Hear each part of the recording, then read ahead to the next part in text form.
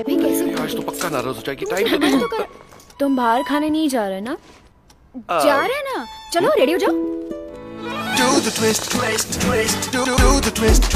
नया किसान ट्विस्ट जब जूसी टमाटोज को मिले स्पाइसी चिलीज का झटका तब आए घर के खाने में फास्ट फ़ूड का ट्विस्ट ट्विस्ट तो कैसा लगा बाहर का खाना? घर का खाना फास्ट फ़ूड का ट्विस्ट नया किसान ट्विस्ट